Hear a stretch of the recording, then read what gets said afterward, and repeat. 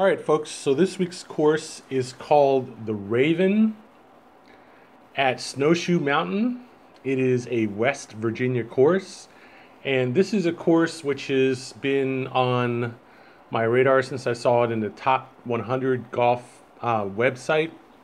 It is ranked, I believe it's fifth in the state of, fifth or 12th, one of the two, um, in West Virginia why it's ranked fifth or 12th or instead of 49th or 132nd, I don't know, but it's a, it's a course that's uh, designed by the Gary Player Architectural Golf Design Company, if not Gary Player himself. And I've played on a couple of Gary Player Company design courses, and they do tend to be rather tight off the tee and fairway and around the greens. There, there's um, very challenging courses in the sense that um, one has to be very careful on every shot, or they don't. There's not a lot of room on the sides um, for slightly offline shots. Very good at gobbling up balls, and so when I saw the description of the um, course on the internet, I decided that I wanted to play it. It was up on my on my um, board list of courses to play. It was not that far away from DC. It's only um, roughly a four hour drive, um, according to Google Maps. And having played um, Primland first, this is one of the courses I wanted to play last year, but I didn't get a chance to play it before uh, the winter season began or before they closed the course for the winter. Much like Primland, Snowshoe is a um, year-round resort kind of um, place, and obviously in the winter, I don't know if you know Snowshoe, if you've heard of Snowshoe, but it's a it's a ski resort in the winter. And in the spring, summer, and fall, they have a bunch of other activities. Uh, it's a let's say more bohemian kind of place than Primland. Definitely not as expensive, and uh, so it's really not nearly as expensive to get on the golf course there, but their snow season um, did begin, or the winter season began in, in November, right around the end of October, uh, early November, and it uh, lasted until I believe it was April, uh, no, no, May. They started the golf course in um, on May 6th of this year and for the first week, it's going to be three days only Thursday, um, Saturdays, Thursday, Friday, Saturday, and Sunday, or three days off. Sorry. Monday, Tuesday, and Wednesday off. It's closed. And so it's four days open for um, 6th of May until I believe it's the 16th of May. And then after that, it'll be uh, seven days a week until uh, October, late October. But the price of the course will go up dramatically. It will roughly double um, before 12:30 um, during the week, and now is a great time to catch the course. I, I got there. Uh, let's see, uh, 9:30 and 8:30, 8:30, right on my tee time. After a four-hour drive out of DC, took me seriously took me four and a half hours to get there, just as Google Maps played. But I, I want to tell you, I was hauling ass trying to get to this course from about um, about 5:30 to when I got to the course. Literally, you know, like like uh, the Dukes of Hazzard, you know, running through these back roads and up these hills, and and it's not it's not a short drive. I ended up taking this. The reason I'm saying this is because I, I don't want people to have to duplicate this experience.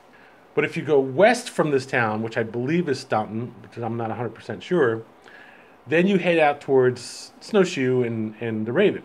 The problem is that it's about an hour and a half drive from DC out 66 down 81 to this town, which is north of Waynesboro, which is where 64 runs into 81. Okay, Blacksburg's on the other side of that. Roanoke's on the other side of uh, south of that. Um, if you go west from there, it's like you're taking a right triangle. So you're coming down the um, the 90 degree turn to go west out towards Snowshoe. That is the longest route that one would take to go there, heading south straight down 81 and then west straight to Snowshoe. The problem is there's no real road that goes straight from Staunton to Snowshoe. Even if it looks like that when you look at MapQuest or whatever, and you look at the whole route, route coming from DC down out 66 down 81 and then west, trust me, it is not straight. okay, it is anything but straight. Anything. And I spent the next two and a half hours, I would swear to God, on like a rally circuit, driving west from Staunton to Snowshoe. It is only 140 something miles from Staunton to Snowshoe. I'm assuming, assuming, live, bear with me, and it's Staunton is it the right town? It may not be Staunton. It might be uh, some other town than S. Okay, let's just say, but the town is just west of Massanutten. Um, it is 141 miles that way to go to um, to Snowshoe. A little south and then back north, and then you come up and around on 219. You come up and around from the west to get into Snowshoe. That's probably the longest route that you'll see on any reasonable direction finding map. There's a, a slightly shorter route as you go north back up towards Harrisburg. I believe it's Harrisburg. It's on 81 where JMU is. Um, okay, so you go from Harrisburg to Snowshoe, it's like 109 miles. If you come north of Staunton and go west, it's like 118 miles. The road I took was on the west side of Staunton because I didn't want to go off 81 while it was still dark. I waited till it was light enough to see to do that. And sure enough, as I'm driving through what was at the point I'm a reasonably straight back road, a reasonably decent speed, like 45 miles an hour, you know, something like that, in the morning, you know, light on a tree covered road, you know, past some houses and stuff. Sure enough, this big ass buck um, doe comes out of the, the, the road to the left saunters into the road where I'm coming, you know, saunters into my path. As I come closer and closer to it, it accelerates and then it goes dashing off the street after I stop my car. okay, not the first time. The last time I was driving around in Virginia, in, in, in anywhere south of, you know, um, 66, anywhere anywhere south of 66, the in the morning light. The last time I actually did hit a baby deer with my car, but luckily this deer was small enough that it just jumped on the hood of my car. It wasn't going so fast. Probably broke its leg, but it, it came up, it slid up the hood of my car halfway up the windshield and rolled off the side and then walked away. The last thing I wanted to do, and I was afraid of this the whole way down in the morning, was hitting a deer on 81 at 4 o'clock in the morning at 70 miles an hour. So I was really happy to get off 81 within one piece but then I had to worry about driving from Staunton 81 basically all the way out to Snowshoe. And it was, I swear to God, one of the most exhausting drives I've ever had in my life to drive that 140 miles. Because within 20 miles of getting off the highway, I said, I'm not going to make my tee time. There's no way I'm going to make my tee time. I was thinking I'd be two hours, you know, to get to the course or more. And, and I was right. It was about two hours to get to the course from there. Um, but at the time, it was like, I think it was 6.30. I ended up getting there just at my tee time. Literally, the driving time was exactly right. You know, getting there right at 9.30. And thankfully, I had seen frost on the way up to the course. And I figured, well, there'll be a frost delay, and I'll get a, you know, there'll be like at least a half an hour, an hour frost delay, and something like that. So that was good and bad at the same time because it meant that I had time to um, get there and make my tee time, but bad because it meant that I would be starting late and I wouldn't have time to finish the entire 18 holes.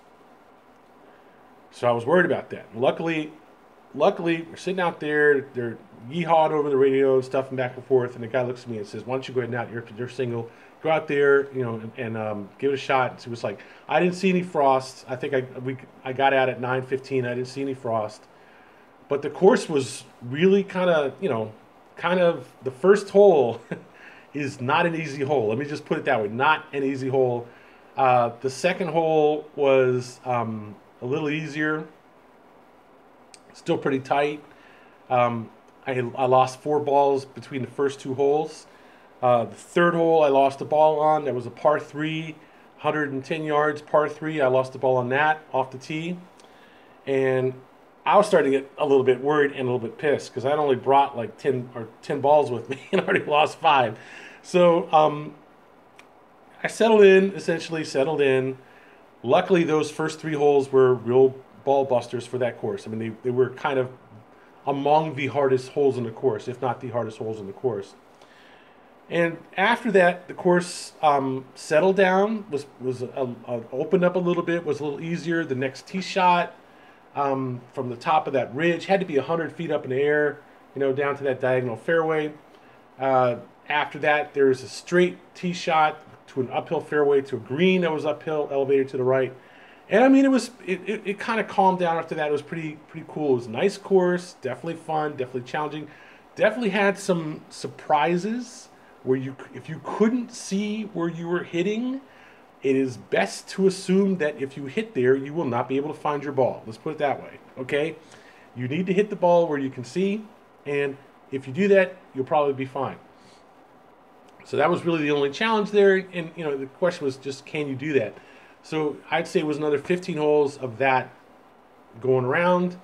Um, it was a good challenge. I would say the course had a lot of nice holes on it, a lot of holes that were tough, a lot of holes that were not so tough, but none of them were really easy. Um, I think there may have been one hole on the backside that was a, just a straightforward, you know, 390 par four that was really you know on the easy side, but the rest of the course was you know challenging to say the least. I won't say it was super duper tough. It was not the hardest holes I've ever seen. It wasn't the most difficult course I've ever played, but consider the fact that this was a slope 141 course from the back tees without having really tough greens. That's how tough the course was.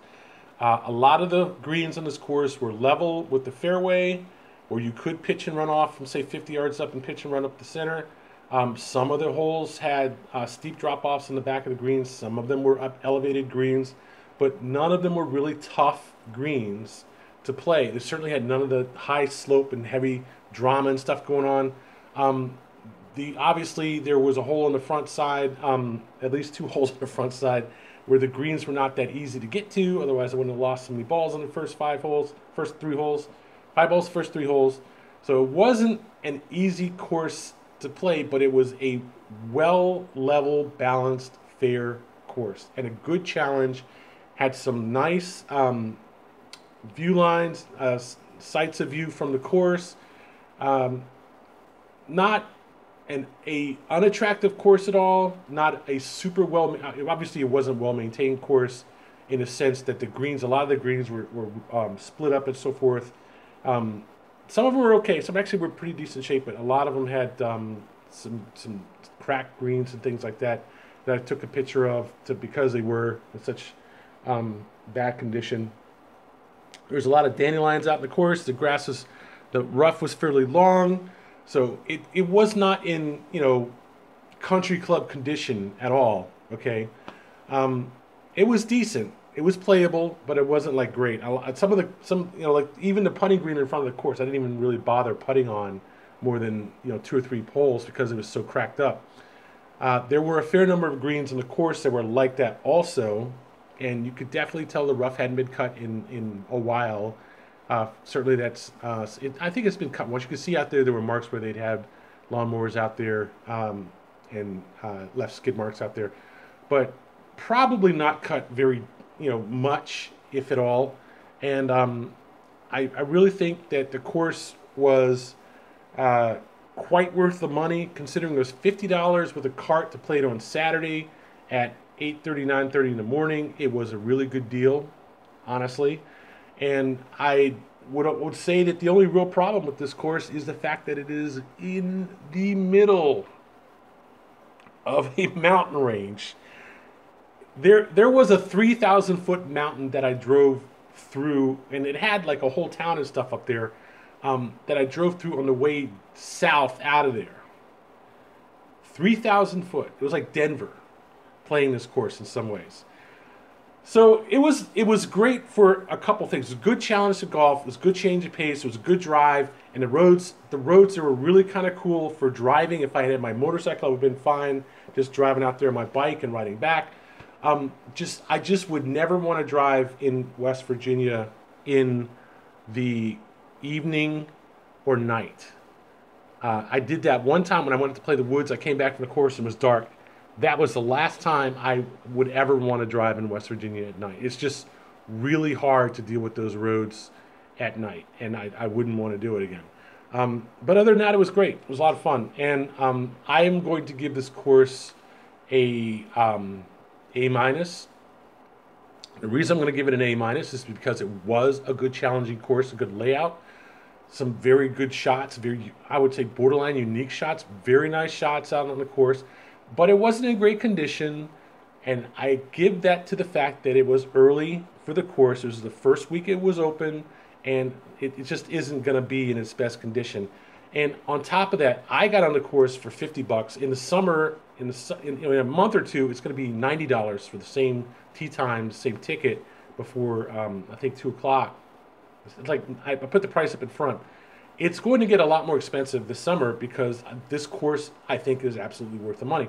I wouldn't I would not put my finger on a course like this where it is getting $90 for tee time on a weekend unless it was worth that $90. And not like a course like Primland, which wanted $120 for a tee time two weeks ago, okay, which was just almost immaculate condition even two weeks earlier, okay. Consider that this course was a slope 141 course from the blue tees, and Primland was a slope 150 course from the back tees. They were both from the black tees. I'm sorry. Um, how is Primland worth two and a half times the cost of this course? How? Yes, it's a nicer course. Yes, it's a nicer layout. Yes, it's it's also bigger, and yes, it also has houses on it. Both courses did have the occasional houses here and there. Um, certainly, there was one fairway where I drove up on on on the Raven where you drive, hit your ball to the fairway, drive it the fairway, look, there's a big house to the left. Um, that did happen a couple times. There's no question that there are houses on the, but I would say maybe five houses on the course on for each one. Okay, out of 18 holes, and it, it's I don't see how it was worth two and a half times the cost of this course. So I think that it, at the very least, while they might be competitive in terms of the play, Certainly, Primland had harder greens, absolutely, but absolutely, it was also $120 to play it compared to $50. And it was an hour farther drive from DC compared to compared to um, to uh, the Raven. So, in this in the largest scheme of things, with everything else being equal, I have to give the Raven at least as good a score as I gave Primland. And I, I, I think that is both logical, logically derived, and it feels like the right thing. I mean, I would not say that that the Raven was in anywhere near. I mean, it wasn't bad. It, trust me, it wasn't awful. It just wasn't what it you know should have been with the greens. Um, I would not say in in in that sense that Primland was such better shape of a course that it was worth uh, two and a half times as much to play the course. Okay, what I will give Primland credit for is having GPS on the on the carts, and Primland had the most rudimentary of markers. They had lines painted on the cart paths, was really the biggest thing I could see. But you know that's fine if you if you see the line on the cart path, you walk to your car to your ball or you drive to your ball, whatever.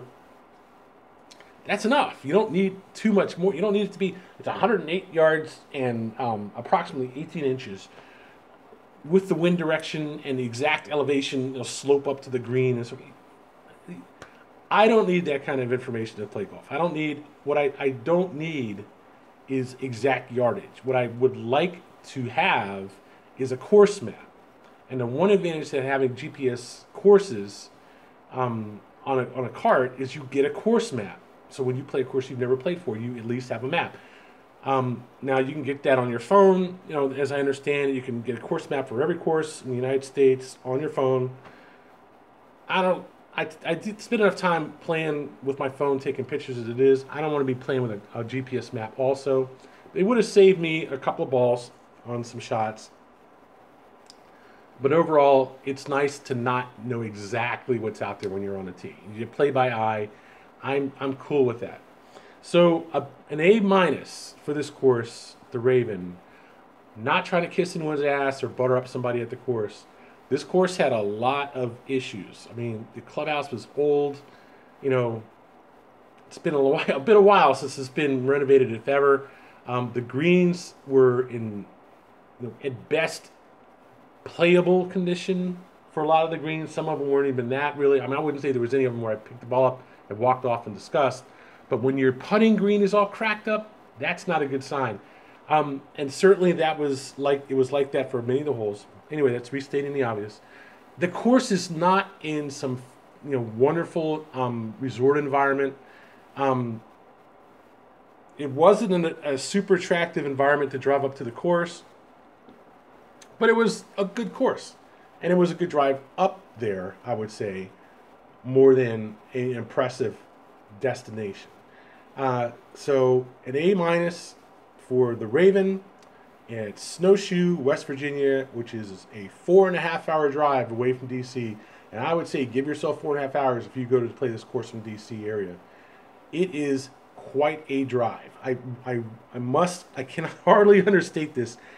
You will have had a drive to get to this course. The, the, the time is an understatement compared to the difficulty. And that's 20 minutes, and that's enough for any course. So A minus for the Raven in Snowshoe, West Virginia.